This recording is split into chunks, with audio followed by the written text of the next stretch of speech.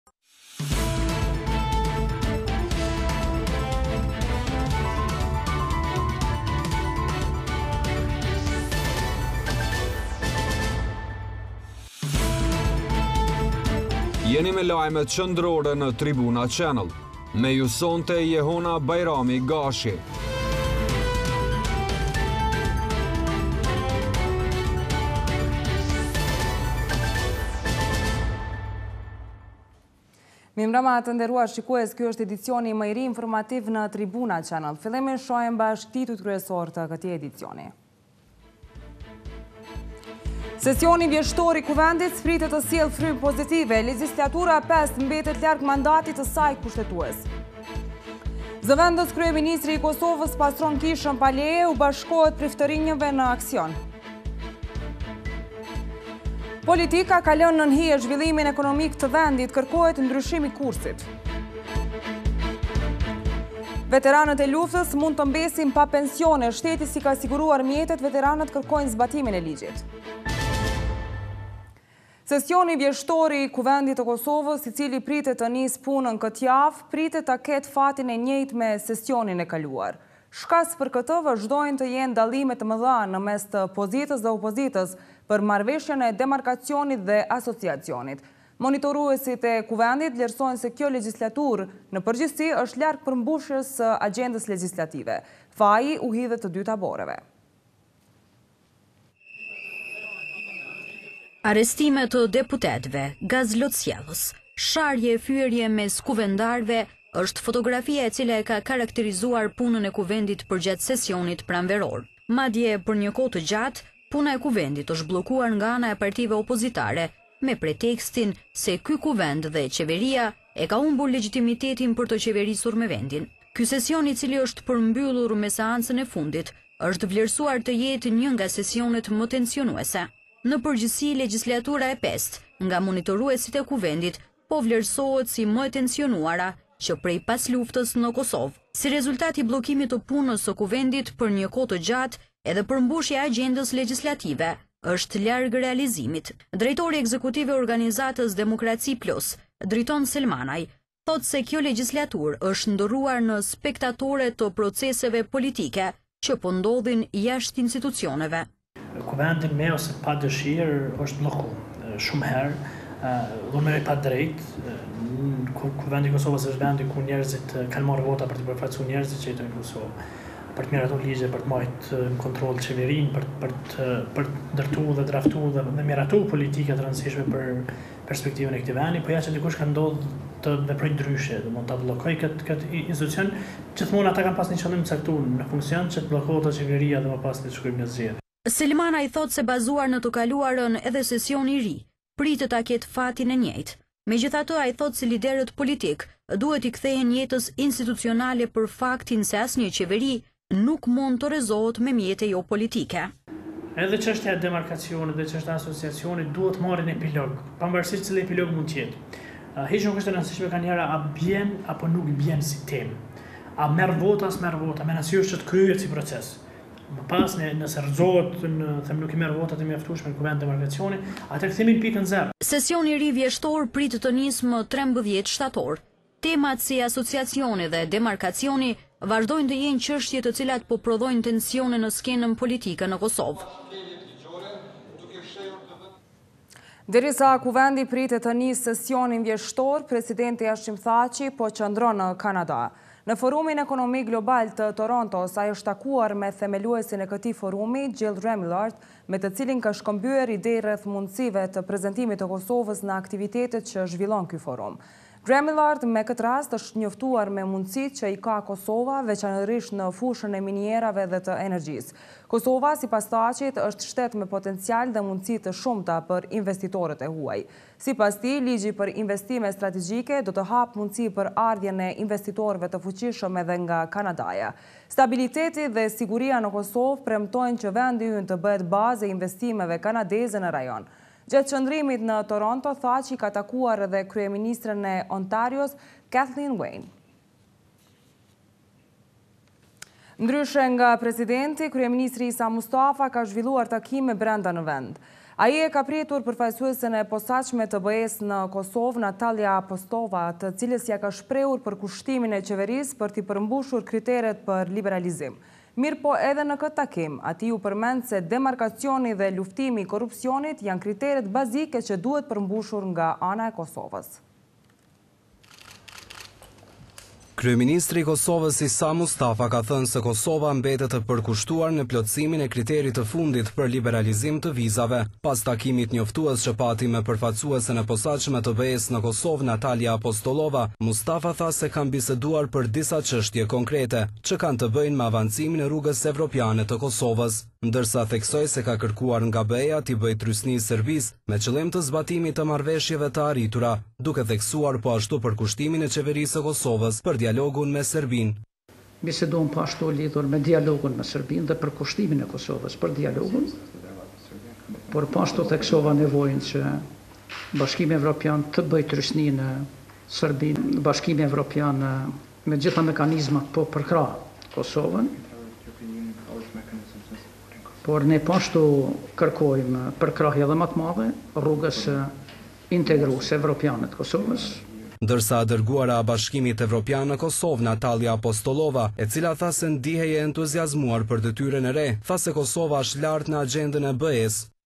In our meeting with the Prime Minister, I reiterated the very. Në takimin me kryeministrin, unë e ritheksova se Kosova është në një pozitë shumë të lartë në agjendën e Bashkimit Evropian dhe se BE-ja do ta përkrahë Kosovën. Unë ia ritheksova kryeministrit se nënshkrimi i Marrëveshjes së Stabilizim-Asociimit është vetëm fillimi i një pune të vështirë, e cila duhet të ecë intensivisht. Bashkimi Evropian, zyra ime dhe ajo e SHBA-ve do të qëndrojnë pranë jush, të ju mbështesin në këtë detyrë sfiduese.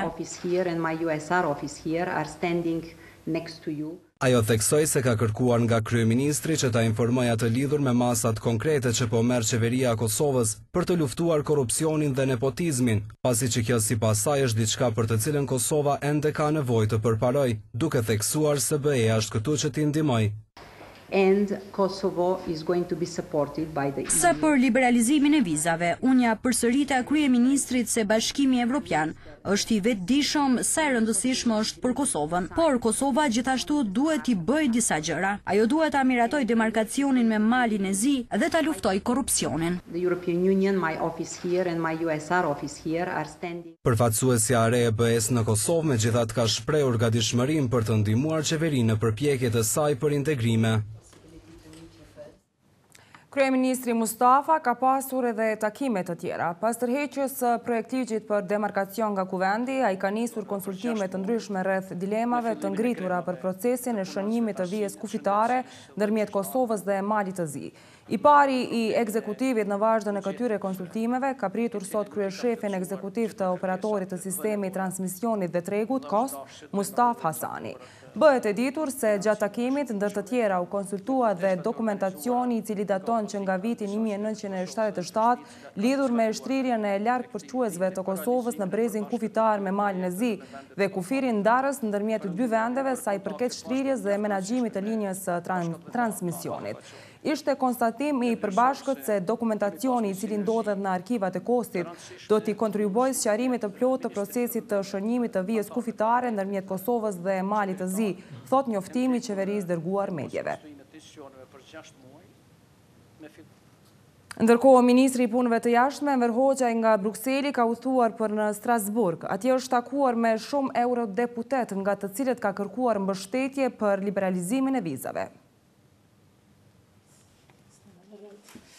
Ministri i Punëve të Jashtme Enver Hoxhaj pas vizitës në ditën e parë dhe takimeve me autoritetet më të larta të BE-së në Bruksel, gjatë ditës së sotme është duke qëndruar në Strasburg, ku ka takuar shumë eurodeputetë të partive politike të ndryshme evropiane. dhe grupet më të fuqishme parlamentare në PE. Në margjina të punimeve vjeshtore të Parlamentit Evropian në Strasburg, Hoxhaj ka takuar ndaras raportuesin e hije për Kosovën nga grupi SD, Antonio Panzeri, udhëheqësin e delegacionit për Kosovë dhe Bosnjë e Hercegovinë, Tonino Pikula, kryetarin e grupit SD, Xhani Pitela së bashku me Tanja Fajon. raportuesin për Kosovën David McAllister dhe bashkudhëheqësin e Komitetit për Politikë të Jashtme të PE, Elmar Brok. Në këto takime, ministri Hoxhaj ka njoftuar për zhvillimet e fundit politike në Kosovë, raportin mes Kosovës dhe BE-së, si dhe për dialogun Kosovë-Serbi. Qëllimi kryesor i këtyre takimeve ka qenë kërkesa drejtuar eurodeputetëve për mbështetje në procesin e liberalizimit të vizave dhe falënderimin për votimin në Libe javën që shkoi. Hoxha është takuar edhe me eurodeputetë të tjerë, si dhe me komisionerin Dimitris Avramopoulos dhe sekretarin e përgjithshëm të Këshillit të Evropës, Thorbjorn Jagland. Në ditën e parë të vizitës në Bruksel, Hoxhaj ka takuar komisionerin Hahn, shefen për politikë të jashtme Mogherini dhe takime në NATO.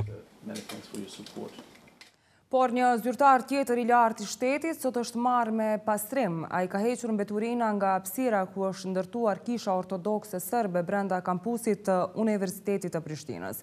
Pavarësisht se kjo kishë është ndërtuar pa leje, kjo nuk i ka bërë përshtypje zëvendëskryeministrit. Përfaqësues të Kishës Ortodokse Serbe në Kosovë bashkë me zëvendëskryeministrin serb në Qeverinë e Kosovës, Branimir Stojanoviq, janë përkujdesur që oborri dhe kisha brenda kampusit universitar të pastrohet nga mbeturinat. Mbrapa meje këtu po pastrohet oborri i Kishës Ortodokse Serbe e cila gjendet brenda kampusit të Universitetit të Prishtinës. Këtij aksioni pastrues, i cili është ndërmarrë nga përfaqësues të ortodoksizmit serb në Kosovë, i është bashkangjitur edhe zëvendëskryeministri i Kosovës, Branimir Stojanoviq. Përderisa po vazhdon të pastrohet oborri dhe brenda Kisha Ortodokse Serbe, qytetarët po e shohin si tendencioze.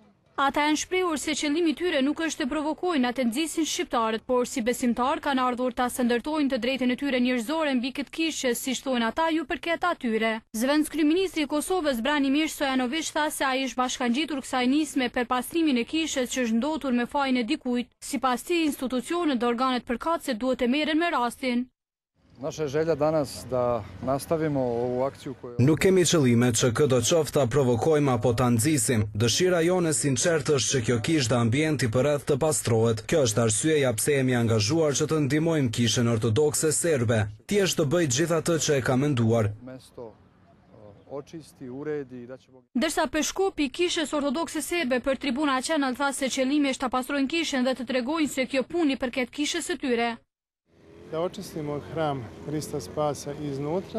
Dëshirojmë që krahas kishave tjera në Kosovë kjo kishë të pastrohet dhe të jetë në shërbim të Zotit dhe të kryejmë vetëm lutjet sepse për këtë qëllim edhe është pastruar, asnjë qëllim tjetër nuk e kemi vetëm pastrimin e oborrit dhe kishës e cila është lënë pas dore. Këto veprime janë parë si tendencioze dhe provokuese nga ana qytetarëve të cilët prapa kameres janë shprehur të shqetësuar teksa shihnin tek bënin pastrimin dhe punët brenda kishës dhe oborrit të kampusit. Ndrojmë temë të informacionit. Korrupsioni një është njëri prej faktorëve që ndikon në mos avancim të shtetit. Derisa institucioni i cili vazhdon të jetë më i korruptuar në vend është qeveria, për të pasuar edhe me kuvendin dhe gjykatat. Qeveria e Kosovës vazhdon të ketë indeksin më të lartë për korrupsion në vend. Pas saj vijnë Kuvendi i Kosovës, gjykatat dhe prokuroria. Më shumë se gjashtëdhjetë për qind e të anketuarve besojnë se zyrtarët qeveritarë më të korruptuar janë ministrat, anëtarët e Kuvendit, gjyqtarët, partitë politike dhe liderët e koalicionit. Derisa ata më të pakorruptuar janë zyrtarët hetimorë, ata policorë, avokatët, gazetarët dhe mësuesit. Këto shifra janë bërë të ditura sot nga Instituti Riinvest, ku edhe është prezantuar raporti me temë vlerësimi i korrupsionit në Kosovë. Drejtori ekzekutiv i këtij instituti Lumir Abdixhiku deklaroi se korrupsioni është pengesë kryesore për avancimin e proceseve demokratike. Është dëshmuar nga praktikat e vendeve tjera se luftimi i korrupsionit megjithatë nuk është dukuri, nuk është punë e lehtë. Pra është punë jashtëzakonisht e vështirë, për shkak të ndryshimit aktiv të dinamikës së korrupsionit. Përfaqësuesi special i Zyrës së BE-së në Kosovë për Sektorin Ligjor dhe Sundimin e Ligjit, Cezar Michalczuk, tha se do të aprovojnë rregullat të cilat do të largojnë nga pozitat zyrtarët që akuzohen për korrupsion. Ne do të forcojmë gjyqësorin, në veçanti do të përqendrohemi dhe do të bisedojmë me Qeverinë e Kosovës që të përpiqemi ta inkurajojmë këtë të fundit që të japë edhe më shumë fonde. dhe më shumë burime në mënyrë që prokuroria të bëhet më e fuqishme. E për zëvendëskryeprokuroren e shtetit Sevdije Morina, korrupsioni është një e keqe e vendit, e cila po mbyll dyert për të ecur përpara si shtet. Marrëdhënia korruptive është një një marrëveshje e dyanshme për të hyrë në një raport korruptiv, prej të cilit përfitojnë dy palë dhe interesimi për ta paraqitë, është i vogël nga qytetarët. Në anën tjetër edhe zyrtarë të institucioneve shtetnore nuk kanë fort gatishmëri ta paraqesin rastin. Kurse përfaqësuesi i UNDP-së në Kosovë, Andre Russell, tha se mënyra e vetme për ta luftuar korrupsionin është që njerëzit duhet të jenë transparentë. Korrupsioni nuk është njëri prej fenomeneve që nuk njeh kufi politik, ai punon përtej kufijve administrativë, korrupsioni vështirë mund të vlerësohet. Në raport thuhet se edhe pas shtatë viteve në funksion të mbikëqyrjes së gjyqësorit në Kosovë me qëllim të luftimit të korrupsionit, EULEX ka arritur të ndjekë vetëm një numër të limituar të rasteve të korrupsionit dhe krimit të organizuar. Zhvillimet politike të kohëve të fundit në Kosovë kanë lënë në hije zhvillimin ekonomik të vendit. Kështu vlerësojnë përfaqësues të shoqërisë civile dhe ekspertë të çështjeve ekonomike. Edhe pse përfaqësuesit e qeverisë së Kosovës vazhdimisht janë deklaruar se zhvillimi ekonomik do të jetë prioritet në politikat e tyre, ekspertët e ekonomisë mendojnë se një gjë e tillë nuk po ndodh. Problemet ekonomike po mbesin nën hijen e zhvillimeve politike. Me gjithë peshën që kanë për të ardhmen e shtetit, aspektet ekonomike ka kohë që kanë ngelur në rend të dytë. Kështu të paktën deklarojnë përfaqësues të bizneseve në Kosovë dhe njohës të rrethanave ekonomike. Sipas Haki Shatrit, çështjet ekonomike në kohën e fundit, edhe pse janë proklamuar si orientim themelor i institucioneve tona qeverisëse, nuk po dalin të jenë problem kyç. Unë mendoj që kjo qeveri, meqenëse në programin e vet, është deklaru se prioritet e ka zhvillimin ekonomik, punësimin, problemet sociale, ish dashtë, meqenëse kanë punësu njerëz boll, edhe kanë formu ministri mjeft, ish dashtë m'u marrë me t'gjitha paralelisht, jo veç me një problem. Tash, prej vitit t'kalu, veç me kufinin, me demarkacionin je tu u marrë. Edhe Lulzim Syla, njohës i rrethanave ekonomike, ka thënë për Tribuna Channel se problemet me çështje politike të cilat kanë ndodhur kohëve të fundit kanë reflektuar te problemet ekonomike, duke bërë që agjenda ekonomike të shtyhet. Sidomos vitin e fundit, domthonë ka qenë një angazhim jashtëzakonisht i madh i i qeverisë, sidomos i pozitës, po edhe pjesa e opozitës e ka lujt rolin e vet edhe në në diskutimet politike, po edhe në pjesën e, e, e, e shtyrjes të proceseve e, politike kanë reflektu edhe në në projektet ekonomike. Edhe kjo ka ndiku që ndoshta agjenda ekonomike me u shty për për për shumë procese, me u shty për shumë projekte vitale, edhe mos me pas ku me u koncentru konkretisht në projekte ekonomike zhvillimore afatgjate. Ndërsa Burim Piraj ekspert i rrethanave ekonomike përmes postës elektronike i ka thënë Televizionit se Kosova po kalon një fazë shumë të vështirë të zhvillimit ekonomik, ku institucionet përveç që nuk janë në gjendje të krijojnë politika ekonomike të denja për të ndryshuar gjendjen, ato as nuk po mund të kryejnë obligimet bazë me të cilat do të tejkalohej pengimi i zhvillimit. Obligimet bazë me të cilat do të tejkalohej pengimi i zhvillimit, pikërisht zhvillimet politike në lidhje me Asociacionin dhe Demarkacionin, nuk kanë lënë zbrazëti ku do të dëgjohej zëri i biznesit. Deri më tani ne kemi qenë spektatorë të largimit të investitorëve të huaj nga Kosova. Shpresoj të mos vjen momenti kur do të largohen kompanitë vendore nga këtu, sepse atëherë do të jemi në një gjendje shumë më të vështirë dhe do të na duhet shumë kohë për të rikthyer gjërat në vendin e vet. Gjatë një konference që është mbajtur ditë më parë është thënë se është kërkuar që të ridraftohet ligji për tregti të brendshme, me këtë synohet që ekonomisë t'i kthehet prioriteti. Dogana e Kosovës ka arritur edhe një rekord në rritjen e përqindjes së të hyrave për këtë vit. Kjo është bërë e ditur gjatë një konference të organizuar në Prishtinë, ku u shpalos raporti për 8 mujorin e vitit 2016. Dogana e Kosovës ka arritur edhe një rekord në rritjen e përqindjes së të hyrave për këtë vit. Vetëm gjatë tetë muajve të parë të këtij viti, shuma e të hyrave nga doganat ka arritur në gjashtëqind e tetëdhjetë e dy milionë euro. Sipas drejtorit të Doganës, Lulzim Rafuna, ky institucion ka shtuar të hyrat dhe se pritet që t'i tejkalojë shifrat e parapara për këtë vit. Në qoftë se matim me projeksionin, ne jemi tre pikë njëzet e dy përqind më lart sesa projeksioni. i paraparë për vitin dy mijë e gjashtëmbëdhjetë, apo ky në milion, jemi njëzet e dy milion më shumë se sa projeksioni i paraparë për tetë muaj që të mbledhë të hyra Dogana e Kosovës. Ndërsa ministri i Financave, Avdullah Hoti ka vlerësuar punën e Doganës duke thënë se suksesi po dëshmohet edhe me shumën e të hyrave. Ai insistoi se me zbatimin e MSA-së dhe me zbatimin e pakos fiskale është arritur të zvogëlohet kosto e konsumatorit, përkundër faktit se Agjencia e Statistikës, statistikave e dëshmon të kundërtën. Rezultati kryesor i doganës vlerësohet me nivelin e të hyrave që që mbledh po duke qenë se ne përfundimisht po ndërtojmë një sistem vetëfunksionues në këtë drejtim duke i mbyll ato vrimat e zeza që kanë ekzistuar në sistem një kohë mendoj që tash fokusi i doganës me të drejtë është kthy kah krijimi i kushteve më të mirë për zhvillim të biznesit Gjithashtu ministri i Financave, Avdullah Hoti, ka thënë se nuk janë siguruar mjetet të cilat nevojiten për të gjithë veteranët e luftës, duke shtuar se numri i tyre sa vjen e rritet dhe është e rëndësishme të gjindet një zgjidhje, por tani për tani Kosova nuk i ka siguruar këto mjete. Pra, ministri i Financave, Avdullah Hoti, ka thënë se shteti nuk i ka siguruar mjetet për pagesën e veteranëve duke theksuar se këtë vit pensione mund të marrin vetëm tridhjetë e tetë mijë prej tyre. Në anën tjetër, përfaqësuesve të veteranëve nuk u intereson për problemet e qeverisë. Ata kërkojnë zbatimin e ligjit. Kosova nuk po arrin të sigurojë mjetet për të paguar pensionet për veteranët e luftës. Këtë e bëri të ditur sot ministri i Financave Avdullah Hoti gjatë një konference të mbajtur në doganën e Kosovës. Hoti me këtë rast tha se numri i veteranëve sa vjen e shtohet, duke shtuar se me buxhetin që ekziston për këtë vit mund të paguhen vetëm tridhjetë e tetë mijë veteranë. Çështja e pagesës për veteranë është e lidhur me me programin që kemi me fondin monetar dhe jo vetëm kaq.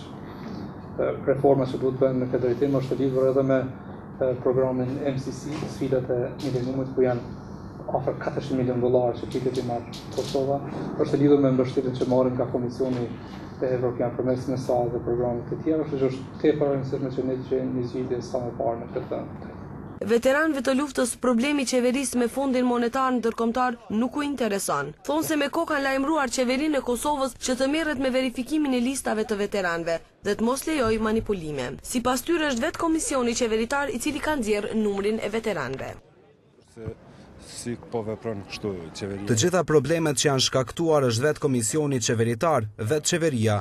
Ne kemi qenë të shqetësuar që këto lista janë fryrë dhe krejt këto i ka bërë vetë komisioni. Tash le ta zgjidhë problemin dhe le t'i pastron listat qysh i ka fry. Nëse ka probleme me Fondin Monetar Ndërkombëtar, është vetë qeveria ajo që duhet ta zgjidhë këtë problem.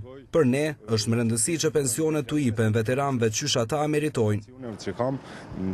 E nënkryetari i Organizatës së Veteranëve të Luftës së UÇK-së, Smajl Elezaj ka thënë për Televizionin përmes telefonit se veteranët nuk po kërkojnë lëmoshë. Ata vetëm po kërkojnë që qeveria të zbatojë ligjin. Fondi Monetar Ndërkombëtar pas publikimit të listave me veteranë ka sugjeruar Qeverinë e Kosovës që të ulë numrin e pensioneve, pasi që numri aktual i veteranëve paraqet ngarkesë për buxhetin e vendit.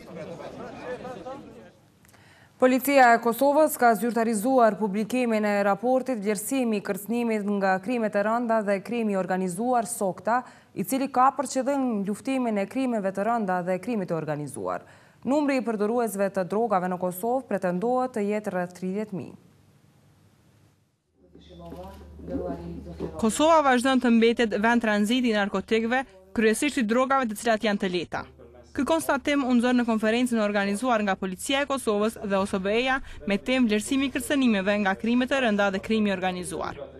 Drejtori i Departamentit për krimet e rënda në Policinë e Kosovës, Riza Shillova, tha se në Kosovë janë pesëmbëdhjetë mijë deri në tridhjetë mijë përdorues të drogave apo rreth një pikë gjashtë për qind e popullatës. Grupmosha e cila është përdoruesi më i madh i narkotikeve del të jetë ajo tetëmbëdhjetë vjeçare. Fenomeni ku konsiderohet që në Kosovë ekzistojnë diku në pesëmbëdhjetë mijë deri në tridhjetë mijë përdorues ose shprehur në përqindje është diku në zero pikë tetë deri në përafërsisht një pikë gjashtë për qind e popullatës të cilët përdorin narkotikë. Mosha më e atakuar. e personave të cilët e përdorin narkotikët është mosha që cila tetëmbëdhjetë vjeçare, por nuk do të thotë që është vetëm kjo moshë, sepse ka edhe mosha tjera të cilat janë viktima të përdorimit të, të narkotikëve. I pranishëm ishte edhe drejtori i përgjithshëm i Policisë së Kosovës, Shpend Maxhuni, i cili tha se me anë të këtij raporti kanë arritur të identifikojnë disa kërcënime, luftimi i krimit të organizuar, terrorizmi, trafikimi me njerëz e narkotikë të tjerë. SOCTA paraqet vlerësimin e kërcënimit dhe trendeve aktuale dhe atyre të reja të pritura të krimit serioz dhe krimit të organizuar brenda shtetit tonë. Vlerësimi në këtë raport pra bazohet mbi njohuritë ekzistuese dhe ekspertizën dhe është bërë në mënyrë që t'iu mundësohet vendimmarrësve të ndërmarrin veprimet e duhura për t'iu kundërvënë kërcënimeve të parashikuara. Të gjitha agjencitë kombëtare brenda shtetit dhe agjencitë tjera të zbatimit të ligjit kanë ofruar kontribut të vlefshëm, ashtu siç kanë bërë dhe institucionet tjera në nivel kombëtar. Ake Roghe, drejtor i Departamentit për Rend dhe Siguri Publike në OSBE, tha se krimi i organizuar po bëhet edhe më i vështirë.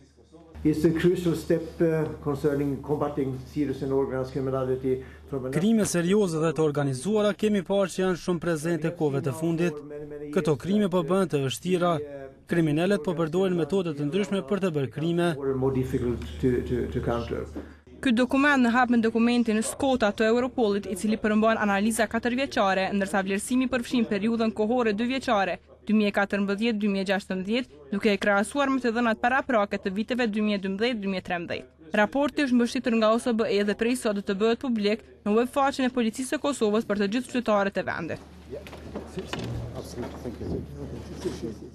Një përleshje e armatosur mes Kozmanit dhe Enojzit ka ndodhur sot në Prishtinë. Fillimisht është dyshuar se përgjatë kësaj përleshjeje ka mbetur i plagosur reperi nga Shqipëria, gjë që nuk është arritur të konfirmohet zyrtarisht, ndonëse Noizy është parë të jetë futur në QKUK. Policia ka konfirmuar vetëm rastin duke bërë me dije se gjatë përleshjes është plagosur një person. Rreth orës shtatëmbëdhjetë ka ndodhur një përleshje me armë ku si pasojë është plagosur një person dhe tre të tjerë janë shoqëruar në stacionin policor, ka thënë zëdhënësja e policisë Flora Ahmeti.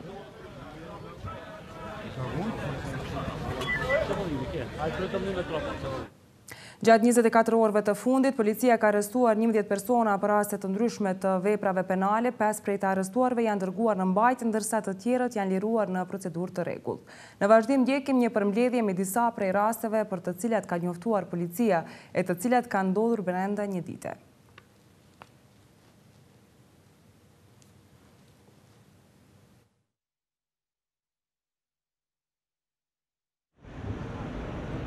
Drejtoria për Hetimin e Trafikimit me Qenie Njerëzore ka realizuar një operacion policor i cili ka rezultuar me arrestimin e dy personave të dyshuar për trafikim me njerëz, si dhe ka identifikuar një viktimë të trafikimit. Hetuesit policorë në bashkëpunim me Stacionin Policor të Malishevës me datën njëmbëdhjetë shtator Fillimisht kanë bërë arrestimin e një personi të dyshuar për veprën penale trafikim me njerëz, kurse pas zhvillimeve të reja hetimore, hetuesit policorë kanë arritur që të identifikojnë dhe të arrestojnë edhe një të dyshuar tjetër. Këta dy persona janë arrestuar nën dyshimin e bazuar se kanë kryer veprën penale, trafikim me njerëz, neni njëqind e shtatëdhjetë e një dhe shërbime seksuale të viktimës së trafikimit, neni dyqind e tridhjetë e një. Personat e arrestuar në këtë rast janë SM, lindur në vitin një mijë e nëntëqind e gjashtëdhjetë e dy dhe AK, lindur në vitin një mijë e nëntëqind e nëntëdhjetë e nëntë.